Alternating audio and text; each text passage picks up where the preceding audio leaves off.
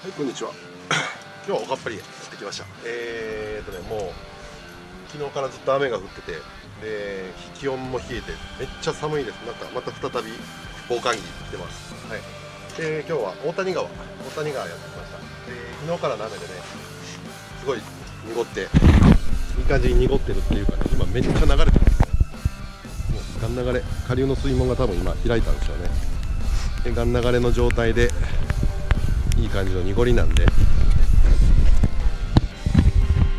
じの濁りなんで、えーとね、今日はクランクベイト昨日の動画でもちょっと話がしましたけど、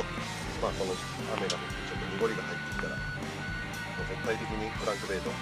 効なんでこの雨の前まではねこの時期にしては結構珍しいぐらい水質がクリアだったんで、まあ、クランクだったらちょっと強すぎて食わなかったんですけど、まあ、いい濁りでいい濁りが入ってるんでクランクで出れ出そうな気がするので今日このマッシュボブマッシュボブ MR これを使ってバックッとねチェックしていきたいと思います。何分一人で撮影してるのであのこ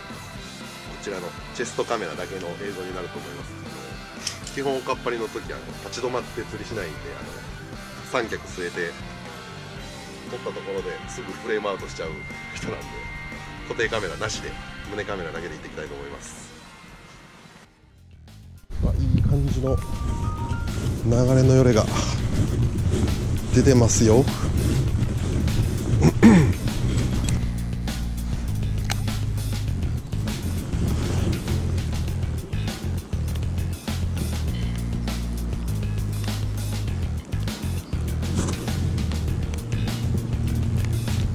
いるなこれ。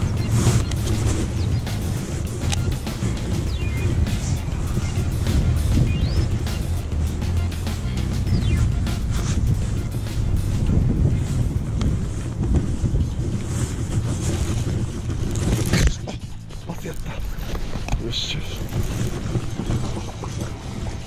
っしゃこっつでこのタイミングか頼むぜどっから取るどっから取るどっから取るここじゃあ行け降りれるか降りれるね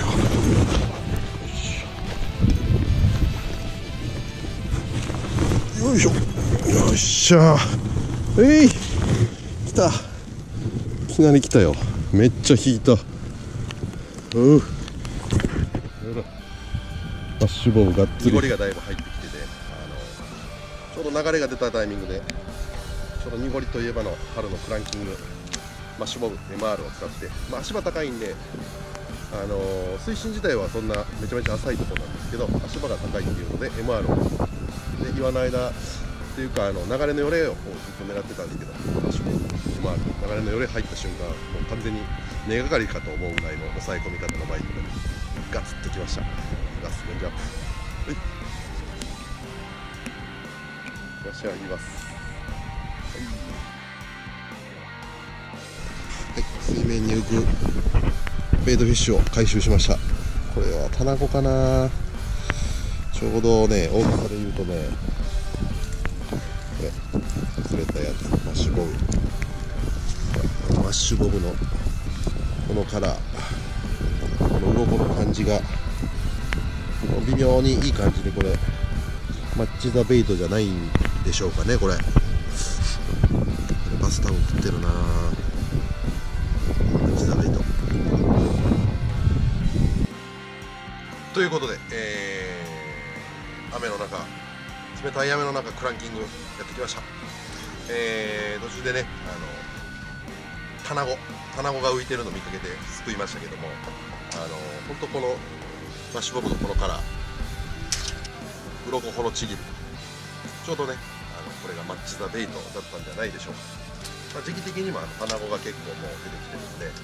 まあ、バスの方もちょっと食ってるんじゃないかなっていうところですね。はいそんな感じで。春のクランキン雨の濁りでクランクベイト、まあ、川独特ですよね、まあ、流れの一番強くなったタイミングで流れのよれに入れたら一発でで流れ弱くなった途端にまた沈黙しちゃった感じです。はい。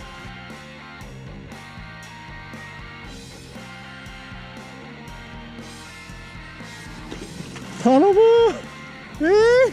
頼むぜでかいぞ